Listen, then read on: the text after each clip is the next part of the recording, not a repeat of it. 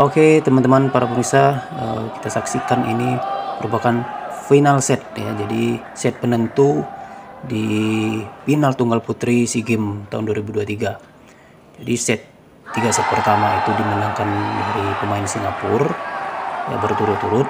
Dan tiga set berikutnya dimenangkan oleh pemain dari Thailand.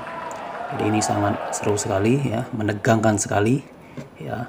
Karena tadinya sudah unggul 3 set tinggal mencari satu set lagi pemain Singapura ternyata bisa dikejar ya. Tiga set berikutnya dikejar dari pemain Thailand ini. Sangat seru sekali. Jadi posisinya sama-sama tegang ya. Histeris tegang. Ya, kita saksikan saja bagaimana kira-kira siapa yang menang uh, antara pemain putri Singapura dan berhadapan dengan pemain Thailand. Oke kita saksikan ya bersama-sama.